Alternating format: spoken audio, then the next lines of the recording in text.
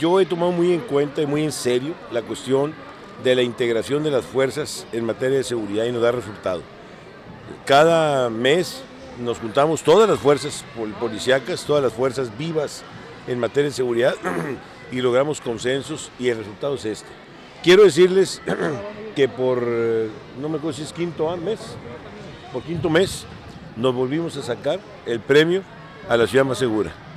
No obstante que hemos tenido algunos detallitos digo, que, son parte de una situación, vamos a decir, no normal, pero, pero que sucede.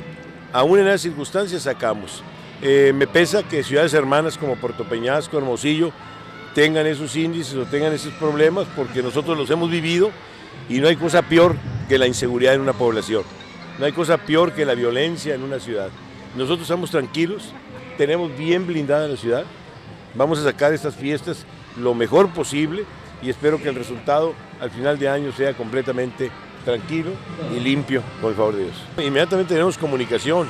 Yo mismo tengo una posada con el ejército y ahí aprovechamos cualquier oportunidad para reforzar. Tengo comunicación con las autoridades estatales, federales, una correlación inmensa. La semana pasada tuvimos una, posada donde aparte de convivir reforzamos eh, eh, todas las decisiones que tomamos y el resultado es ese, que Nogales está seguro a pesar de los pesares, Nogales está seguro y lo reconoce la misma autoridad estatal al darnos el premio de nueva cuenta.